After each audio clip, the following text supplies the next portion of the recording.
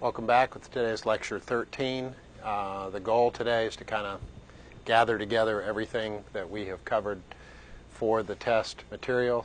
Um, I think it was Kelly yesterday made a good suggestion that I uh, locate an appropriate old test that I've given over this section. It may not be exactly the same material, but um, I'll try to do that, and that'll be what we do tomorrow. Kind of look at some problems, how they might be asked on the test. Um, sometimes it's appropriate. I know most of you have never had a test from me, but uh, sometimes it's appropriate on a test to say, um, you know, set up this volume uh, problem, do not integrate, and do not evaluate. So that's a way that I could actually ask more questions without having to get to a place where we get to, we, we do that in class sometimes when we get it to a point where it's set up, we've got the limits of integration, we've simplified everything we're going to do. Um, a lot of times we integrate it and don't evaluate it. Sometimes we don't even integrate it and evaluate. That's a potential test type question also. So that would be primarily um, to save time, get more questions on the test and you, you may think that, well, I don't want that. I don't want more questions on the test. I, I think that you do. Because if we had five questions and you miss one, they're 20 points each. But, you know, if we have seven questions and you miss one, they're 14 points each. So the more questions, the, the less value for each question. So if some, somebody, probably never happens to you, but, you know, you might forget how to do something. Um, then it's a little more forgiving when there are more questions. So let's, uh, and really WebAssign questions today. We had some after class yesterday. Uh, any WebAssign question that you have uh, is fair game today in class. Uh, not probably to the point where we're going to do it all the way through, but we'll at least get it to the point where, you know, it's jump started for you and you can take it from there. Uh, but let's start to kind of gather where this course started and what you should be prepared for for test one. Um, even though 5.7 and 5.8 are technically review, I, I, know that we've got people from uh, not only other 141 classes on campus that are coming to this 241 class. Probably a couple of you in here did not take 141 on this campus and you had calculus at a community college or a high school. Um, so it's kind of a starting point. Uh, we obviously expect you to know it, but because it's where we started in 241, we could have questions from 5.7 and 5.8 on this test, and we will. So from 5.7, we had three types of problems. Um, I don't know that today. I don't. I don't are we going to have WebAssign questions today? Anybody? Yes, you have some WebAssign questions. Mm-hmm. You, I mean, you have them with you. And, yeah. Okay. Anybody else have WebAssign questions? Okay. All right. So what we may not be able to do at each topic is come up with a kind of a sample problem. But if you have a WebAssign question that's related to, let's say, trig integrals,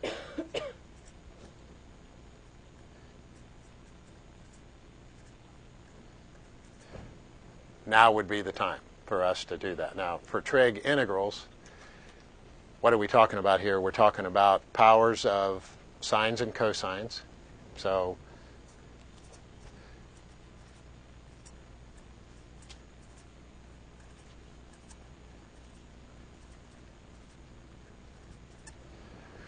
So if you have a sine cubed and a cosine to the fourth in the integrand, okay, we've, we've got to be able to deal with that. Um, also, powers of secant and tangent. We did some problems with secant and tangent.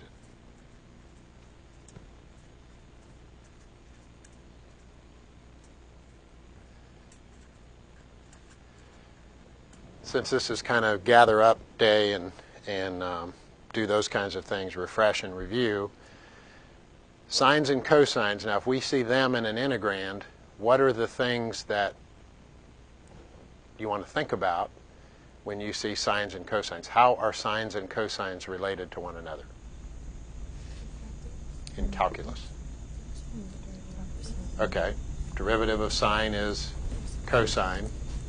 Derivative of cosine is negative sine. So they're they're kind of derivatives of one another as long as you correct for a minus sign on one of them. How else are sines and cosines related? That might come in handy when you are handed a integrand that has cosine to a power of an angle, sine to a power of the same angle. Sine squared plus cosine squared Okay. Sine squared plus cosine squared is 1. so you can get a couple of different versions of that. Sine squared is what? 1 minus cosine squared. Cosine squared is 1 minus sine squared. What's the bad case here? What's the one that kind of isn't as smooth as the others with powers of sine and cosine? Double angle. Uh, the double angle identity, and when do we need to use the double angle identity? Even power. even. Even powers of sine and cosine is kind of the stubborn one.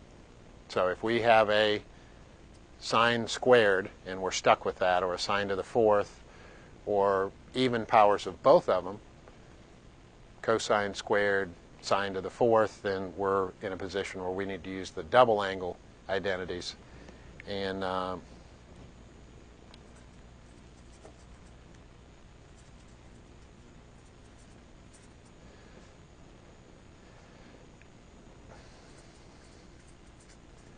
So this kind of arsenal of weapons then allows us to deal with these trig integrals.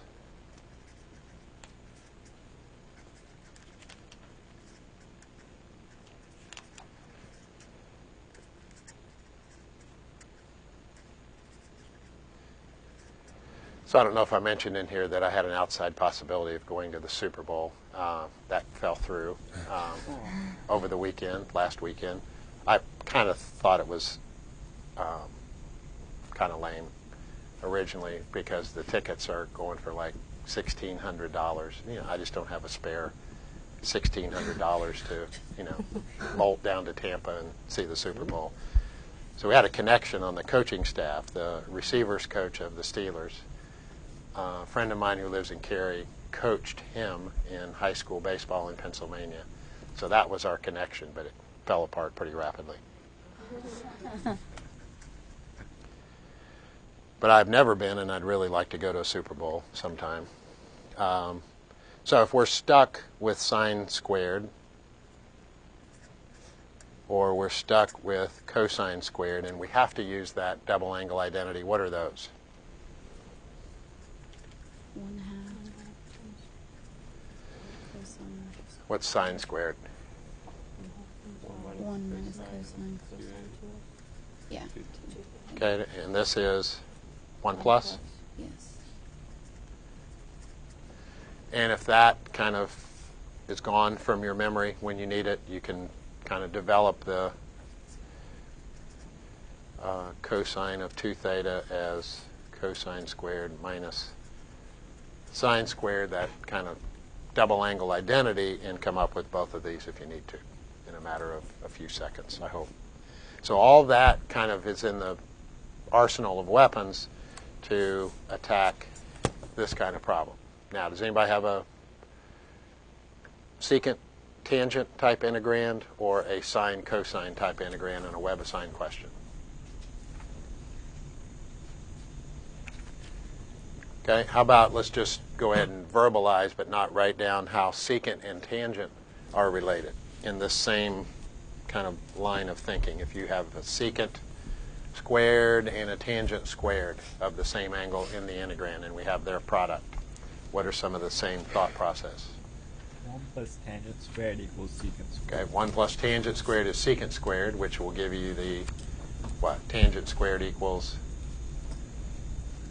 secant squared minus 1, right? What, el- how else are the tangent and secant related that might come in handy? Tangent being sine over cosine.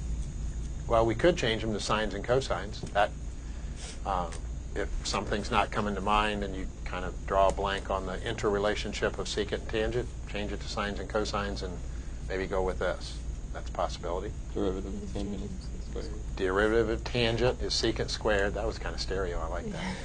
And derivative of secant is secant tangent. So those kinds of interrelationships allow us to simplify the integrand, write it in terms of u to a power du, and then hopefully once we get it to that point, it's fairly easy, easily integrated. So I'll bring in an old test tomorrow, and if I don't have one of these on there, I'll make one up and we'll go through it. What else in 5.7? Trig substitution.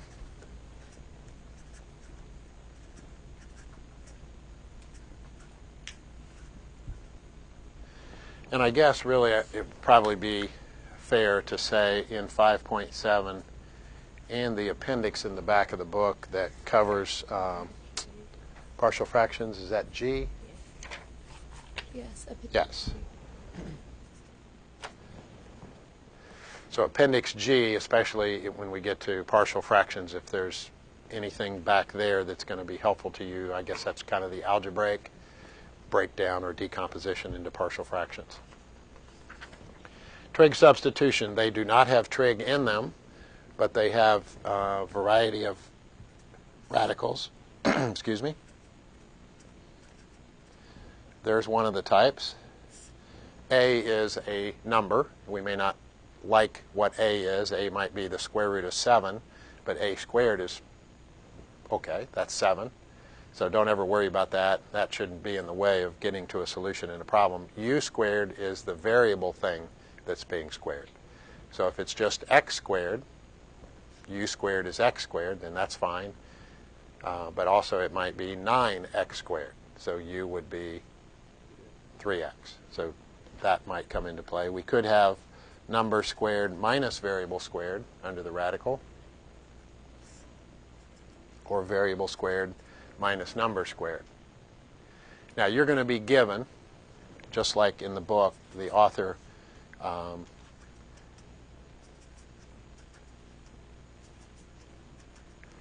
gives values that you're going to substitute for u, and I'm going to provide this on the test.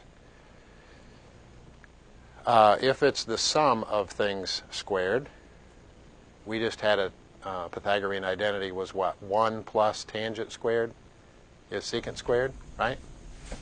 So if we've got the plus thing going on, we could let u equal a tangent, and that ought to get us somewhere. Because eventually we could have a 1 plus tangent squared under the radical. What is 1 plus tangent squared? It's secant squared. So you can simplify that. This will be given to you. So you don't have to come up with that yourself, but what to do from that point on you need to know. How about the difference here? So if we could come up with a, how about a 1 minus something squared? That itself would be a perfect square. What's a candidate there? Fine. Sine? Again, that's going to be given to you. So it'll say let u or whatever the variable quantity in the problem is um, equal 4 sine theta or just sine theta or 9 sine theta, whatever. How about variable quantity squared minus number squared under the radical? What Pythagorean identity has is going to secant squared minus 1, right? So these things will be given. But you'll need to be able to take it from there. So one of the key steps, does anybody have a web assigned question with a trig substitution? One of the key steps then is once you are handed what you want u to represent is you need to find what du is based on that, right? So if u, as in this case, is a tangent theta, what's derivative of u? a secant squared theta d theta, right? Because we're going to change the problem um, to a u, uh, sorry, to a theta d theta problem. So we're going to have to get d theta in the integrand somehow, and that's how we're going to do it. So where there's a du in the integrand, we will replace it with a secant squared theta d theta. Same thing here, find du, and same thing here, find du.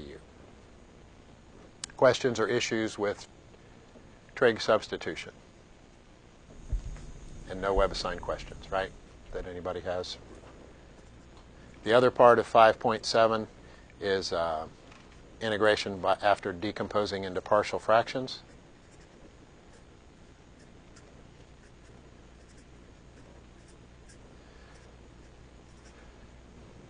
So if you felt comfortable with this stuff at the end of 141 and what we did earlier in this course refreshed you on this stuff, then this is not going to take a lot of your study time to go back and refresh yourself again with partial fractions. And there's really, uh, I, I, technically, I guess there's four categories, but really two main categories that if you have, um, let's say, a linear factor and an irreducible quadratic factor, Now we've got to have the degree of the numerator smaller, so the degree of the denominator is x cubed, right? So if we have something of smaller degree, then we can go right to the partial fractions decomposition. So let's say we have 2x squared minus x plus 7. So we've been handed an integral problem. So this in kind of product and or quotient form, we don't like it if we can decompose it into pieces uh, that are added together, we can integrate each part of the sum. So here's one of our rules. I, let me backtrack because I'm afraid I'm going to forget this. I've already forgotten it once today, just like 30 seconds ago. If the degree of the numerator is larger than the denominator, what is the first step before you decompose? Long division. Long division, or if it's equal, right? If this is x cubed and this is x cubed, do the long division first, but as long as it's smaller than the degree of the denominator, then you're, you're okay to just to start this process. So we have a linear factor. What kind of numerator will a linear factor get no matter how many times that factor is itself used as a factor? Constant. So even if we had an x plus 2 to the third, wouldn't each time we use that right? Get a linear factor. Get a uh, for the linear factor in the denominator gets a constant numerator. Linear factors, constant numerator. Here's an irreducible quadratic, and if it's reducible, then reduce it, and you don't have to use this. So if it's x squared minus nine, break that up into x minus 3, x plus 3. Why? Well, because when you're done, you've got a number over x plus 3 that's a pretty quick integral problem, isn't it? Natural log. Or you've got a number over the other one, x minus 3, another natural log. So the more you can break it down ahead of time, the easier it's going to be once it's broken down. Can't reduce or simplify x squared plus 9. What kind of numerator does it get? Okay, linear. So some kind of new letter other than A. It might be the same letter, but we have to allow for the fact that it's different. And then we would, what, from this point? Get a common denominator, equate coefficients of x squared on the left side of the equal sign to coefficients of x squared on the right side of the equal sign, and go from there. Um, I'm, yeah, question? Do you have one of those, Yeah, Nicole? I have a. I don't know if it's done the same way because I have no idea how to start it, but um, it was x squared over x minus 3 times x plus 2 squared. x plus 2, the quantity squared? Right. Okay, let's look at that one because that's got the other thing that uh, this problem didn't have. So you're integrating. x squared is the numerator. What's the rest of it, please? Um, x minus 3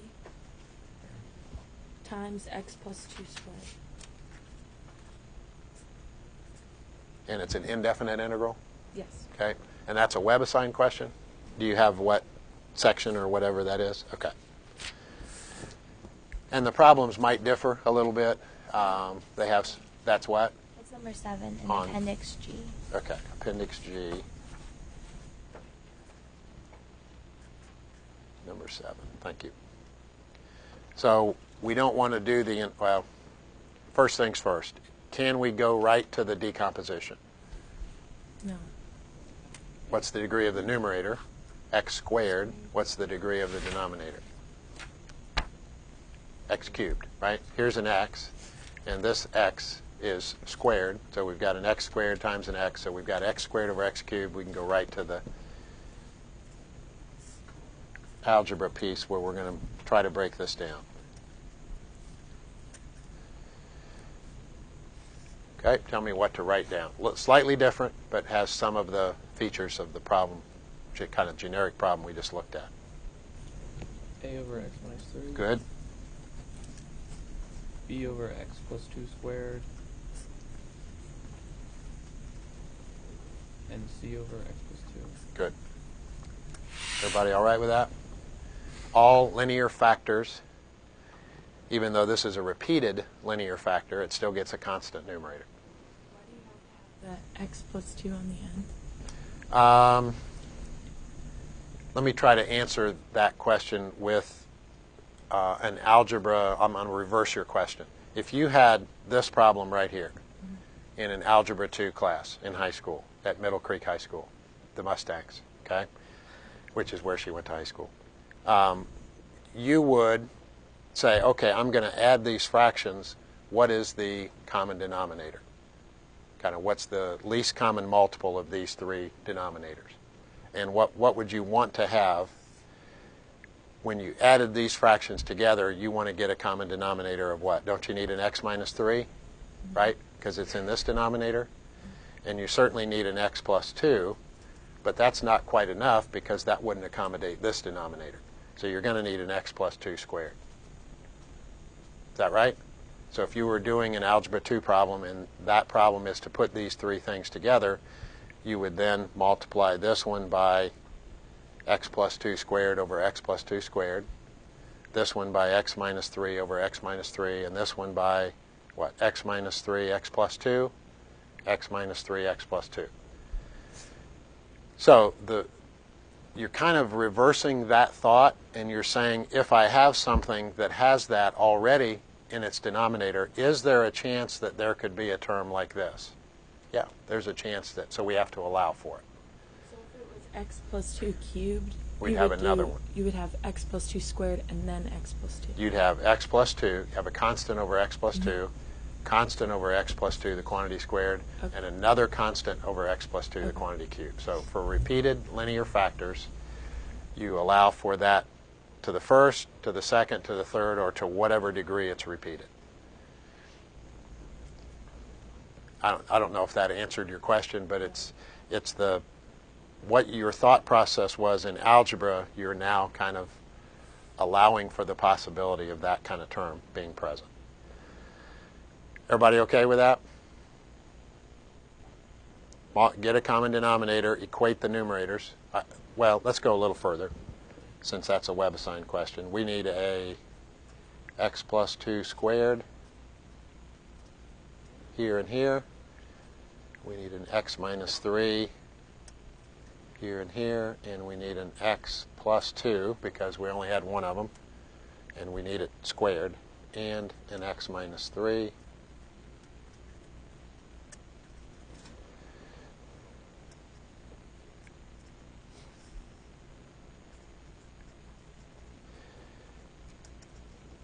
Now, I know a lot of you consolidate steps, and that's fine to do on the test on Friday.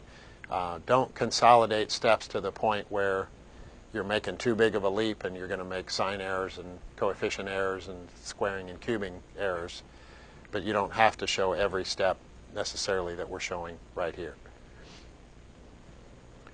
Um,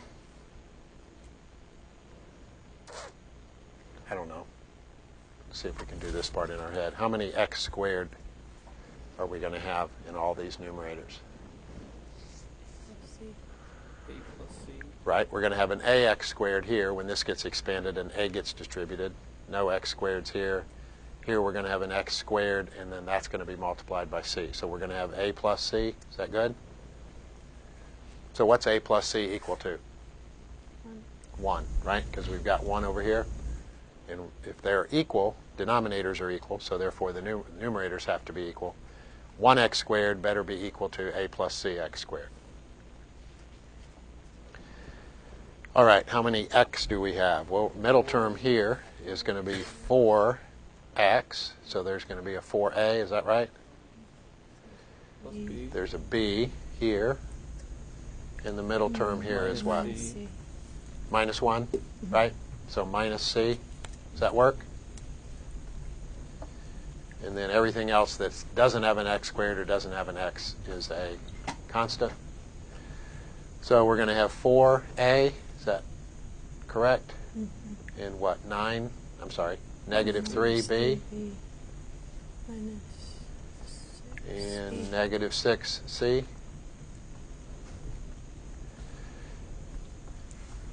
So a plus c better be 1. 4a plus b minus c, right, equals 0 because we don't have any x over here. I guess technically we have 0x. And then 4a minus 3b minus 6c is also 0.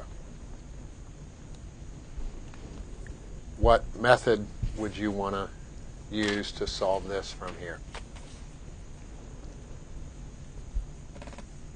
Set the two at the bottom equal to each other. Okay? And what are we going to accomplish by that? You get rid of a couple things, and it's easier with A and C. You can knock out the Just four thought A's two. Okay, we can knock out the four A's that way, right? So we'd have B's and C's, Mm-hmm. And then you Um, for C. And and you could the then one. take, then you'd have one equation that had B's and C's in it. So what would you want to do with that? Well, Right, if you So- equated, these are both equal to zero, so the suggestion is that we set them equal to each other, strike the 4A and 4A on both sides, and you'd have one equation, right, with B's and C's in it. What are we going to do with that one equation with B's and C's in it? Solve for one. Uh, 9c in the first equation and then put.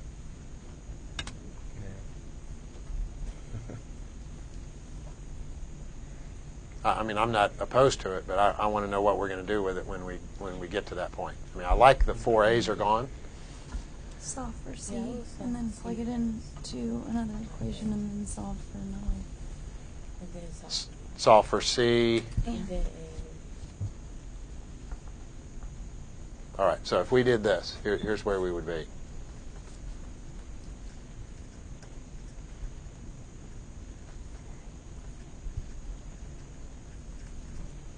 So those are gone. So we have one equation with two variables in it. So let's say we put it all on the same side. So we add 3b, so there's 4b. And we add 6c, which would be 5c. Is that right? Now where do we go?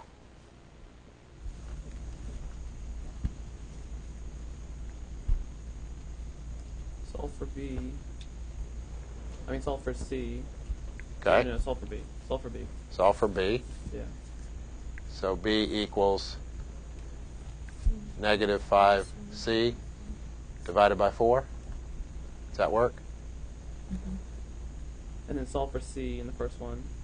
Okay. c equals, What am I saying? And then put all that in the second one, and change the C to an A.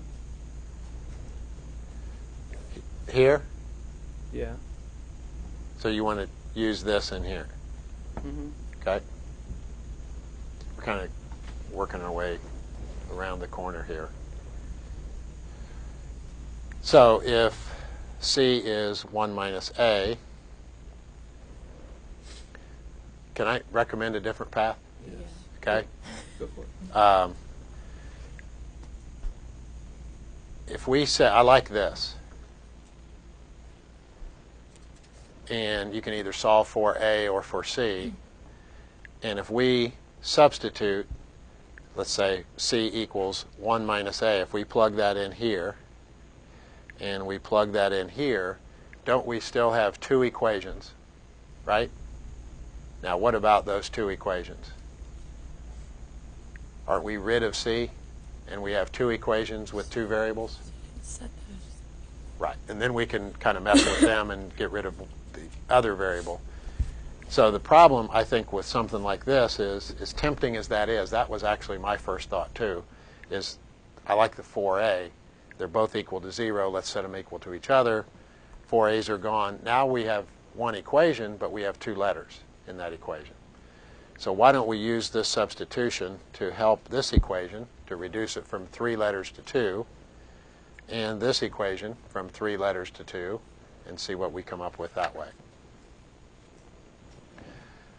So the second equation, 4a plus b minus c. Well, what is c equal to? 1 minus a. That's 0. This equation, 4a minus 3b minus 6c would be minus 6 times c is now 1 minus a. Now we lose the luxury of having 4a and 4a, but at least now we have two equations with two variables. So the first equation is what? 5a? Because we've got minus a minus a. 5a Plus B. plus b equals 0. And what's this second equation? 10a minus 3b minus 6. There's a minus Is one. that a Yeah. one Top on one. five A plus B? plus- Oh, we've got a minus 1. Yes, right there. Minus 1. Thank you. And here we've got 10a Minus 3b minus 3b minus 6. minus 6.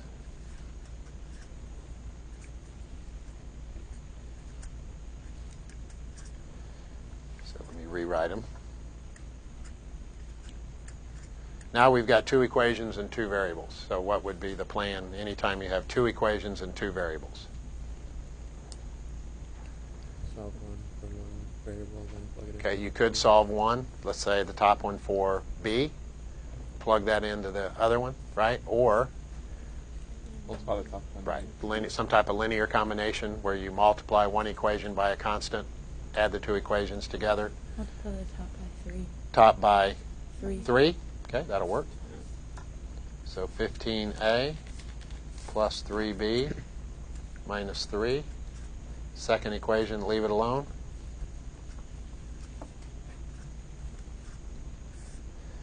And add, right?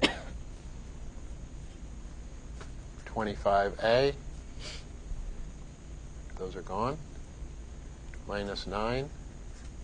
So a, boy, that's a nice number. 9 over 25. Does it really matter that a is an ugly number? Is it going to make the integration that much worse? No. I mean, here's here's the, the decomposed piece that has a in it. If a is 9 25ths, is that going to, you know, radically disturb our world this morning? It's a natural log, isn't it? Bring the 9 25ths out in front. Question? First, do the fraction thing where you put like a over something and plus b. Or does it, do you have to do x plus two squared Mm-hmm. for b, or can that go under c? uh, let's let's say that when you broke this down, you had b over x plus 2 and c over x plus 2, the quantity squared, and we did it this way. Your answer for your b would be our c, and vice versa. So we'll, Right. we do that? Yes. Yeah. Still going to be a number, and you're still going to be integrating that term. Your, your B and C would just be the reverse of our B and C. All right, so we can get to what we need to get to today. Now that we know A, how do we find B? You have to find c first. C sixteen twenty fifths. Okay, well, we do know a nice, clean interrelationship of A and C right there, right? So if we know A, C is just 1 minus A, which is 1 minus 9 25ths. So C is 16 25ths, another delightful number. And if we know A and C, then we can plug back into an appropriate equation, not the first one, because it doesn't have any B's in it, but any of the equations, and we can solve for B. B is going to be a number, right? So let's look at our original decomposition.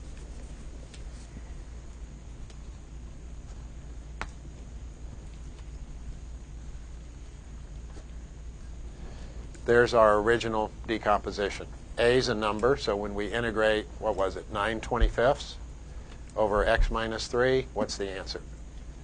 And if you have to think about this more than 15 seconds, you really need to do some digging in before Friday. There we go. 9 25ths, natural log of the absolute value of x minus 3, right? That's a du over u with a little extra baggage. All right, C, isn't that the same kind of animal?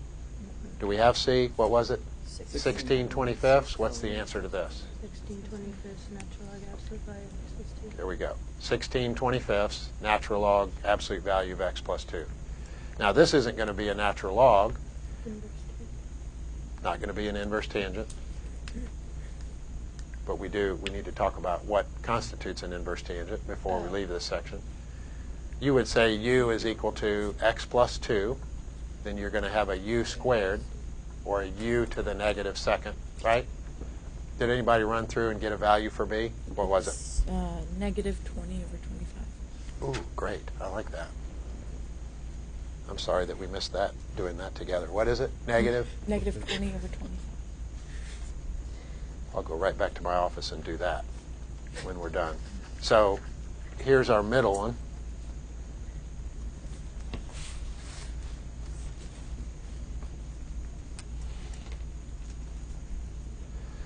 So whether you actually write this down or you think about it, we're going to let u equal x plus 2. Is everybody convinced Can, that this is not a natural log. yeah. What, what has to be the case for it to be a natural log? X to the third. Con- x to the first in the denominator, right? Or u to the first, or r to the first. Here we've got it to the second, so that throws that out. And we don't need that special case because this is just a power rule, right? Can you pull out the negative 20 over 25? Yes, yeah, and I, I think that would be wise to do that. Just, especially if it's ugly like this, just get it out of the way.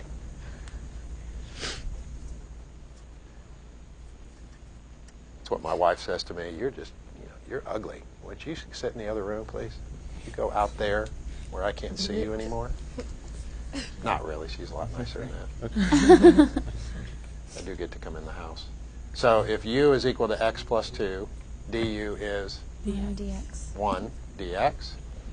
So this problem really becomes dx is really du. And this x plus 2, the quantity squared, is really now u squared.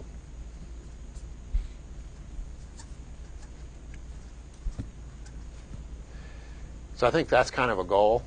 Uh, I think I said that earlier in this class, um, that the goal is for you to kind of think through this stuff now that you've seen it several times at the end of Calc 1 and now the beginning of Calc 2. Um, that you recognize, first of all, it's not a natural log. That's u to the negative second. And what's the integral of u to the negative second? Negative 1 over u. Negative 1 over u, right? u to the power rule, 1 degree larger over that new exponent, right?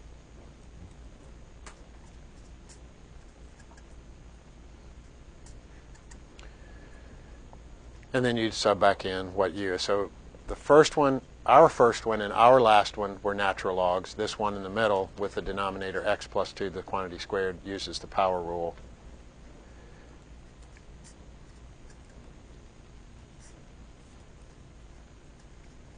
So u was representing x plus 2 temporarily, so we plugged that back in. Is that okay? How many of you are doing most of this right here in your head? I can. I mean, I can see several of you. I, I wasn't a shock to me those that raised their hands because I can see your engines working, and you're you know you're way ahead of where I am writing things down. But that'd be a nice goal is to do more and more of that in your head. And then the stuff that does require us to write down more steps, we can write down more steps. Uh, inverse tangent came up, so that's before we leave partial fractions. Does that, does that work for that problem? I mean, at least we got it integrated, right? We think. Um, if you have And I had a problem up here a minute ago that, um, see if I can write it down again. I had x squared plus 9, right? And an x plus 2. And I'm just going to kind of do this in the numerator. Okay, we have a term up here that is less than third degree. I think I had a 2x squared. I, I made it up, so I know it's not going to work out very nicely. And we just had one that had some ugly coefficients. But let's say we take this and we decompose it and we get 3 over x plus 2. And here is our irreducible quadratic denominator.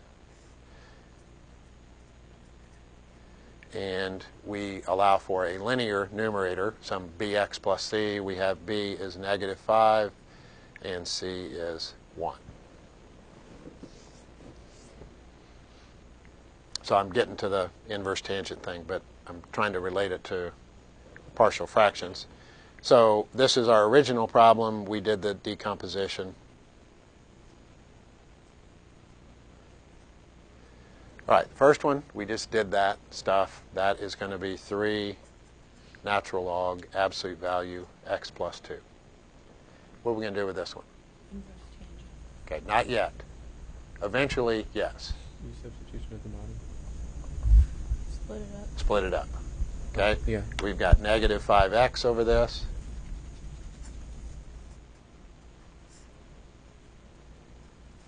Now, it'd also, I think, be a wonderful um, cogni- cognitive experience that if we know why we're doing that. Why would this problem, why is it to our advantage to break it up into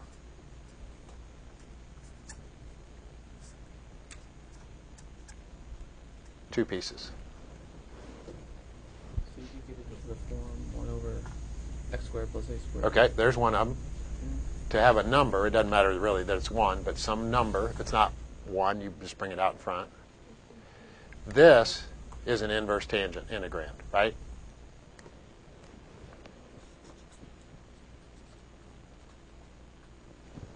Because the derivative of inverse tangent is 1 over 1 plus x squared. We don't have exactly that, but we have an- another version of it.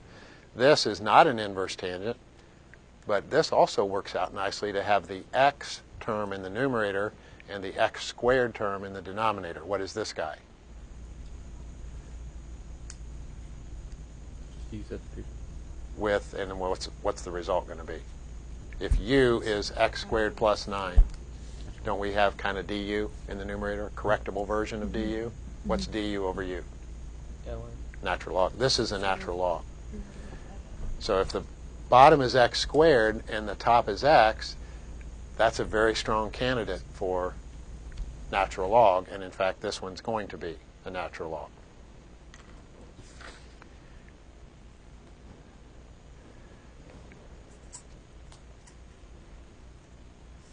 Sometimes I can read your faces and I know it's time to move on to the next problem. I didn't see that look on this problem, so let's take both of these pieces and finish them.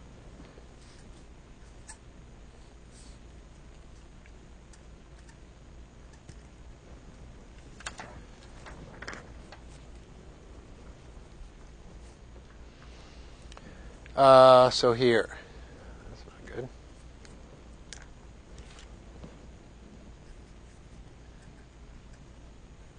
good. So if u is that quantity in the bottom, x squared plus 9, what's derivative of u? 2x dx.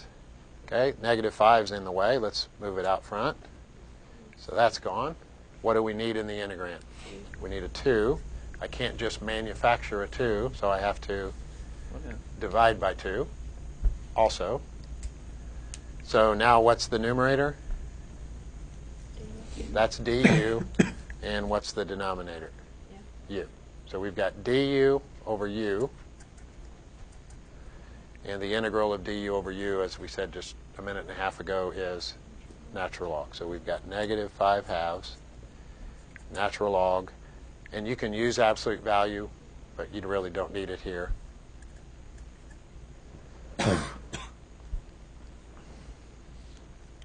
All right with that one? Now, generically,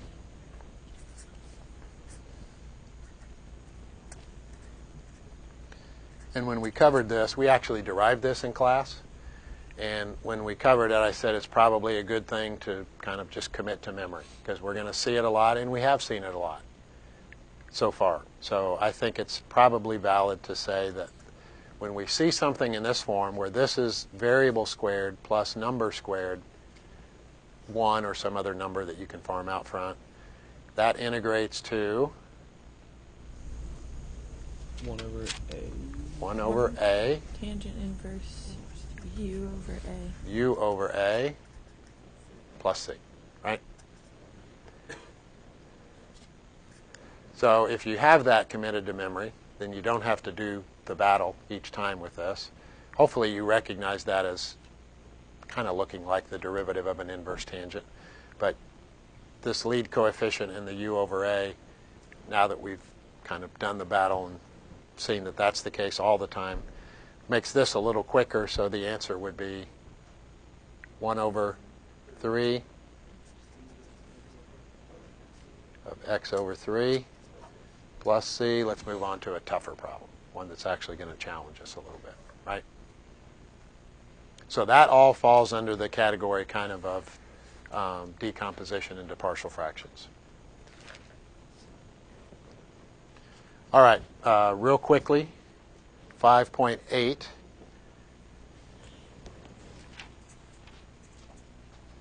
I realize we got kind of bogged down there, but I still think that's time well spent because I could tell by facial expressions that that wasn't where it needs to be um, by Friday. Uh, using the table of integrals, and if you have a 5.8 WebAssign question, we can start class with that tomorrow. Table of integrals, remember, is, I mean, you think this is the easiest thing we've ever done in any math class. And it can be, but remember, you've got to take what you're given and you've got to make it match exactly. So if it doesn't match exactly, I remember a problem we did in class that had an x squared here and a 4x squared, I think, minus 7 there. Well, if that's what we're going to let be u squared, then that can't be u squared also, right? When you look in the table of integrals, you're going to see something that looks like this.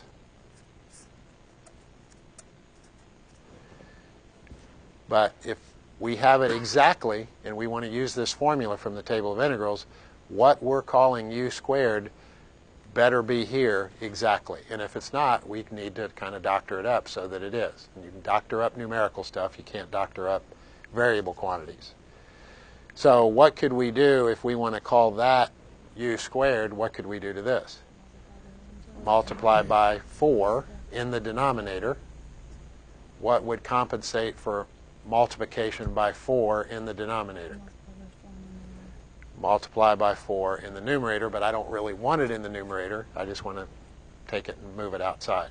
So that becomes a u squared, just exactly like that's a u squared. So we do have to make our problem match what we see in the table of integrals. And once we do that, then we don't have to integrate it. It's already been done for us. But if somebody has a table of integrals problem, we can start class with that tomorrow. I'll bring an old test tomorrow and either hand you out a copy of it or at least do enough of it up here that you basically have it. And any WebAssign questions that you want to ask tomorrow, those are fair game too.